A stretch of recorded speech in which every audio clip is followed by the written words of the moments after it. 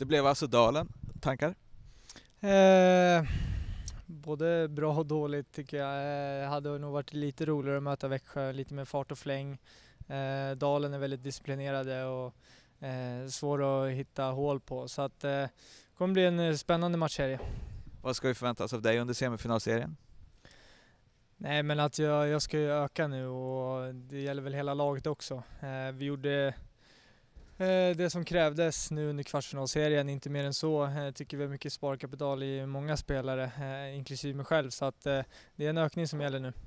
Hur har träningen sett ut sen 4-0 mot Sirius? Det var ett tag sedan vi blev klara nu. Eh, men det har varit eh, lite innebandy, eh, försökt hålla igång på gymmet också med en träning, hålla oss pigga och fräscha. Ehm, så att det har varit full fart. Hur är känslan inför slutspelsmatcher om man jämför med vanliga matcher? Ja, men det blir en helt annan grej. Det är betydligt mer publik och det blev speciellt det nu när vi mötte Sirius och jag tror att de kände av det också att vi att det blev eh, mycket mer tryck och domarna släpper på lite mer och det blir bara bättre tryck eh, överlag så att eh, det, det är väl det som är skillnaden också. Hur skulle du beskriva känslan när du hänger dit den och, och IFÖ Arena exploderar?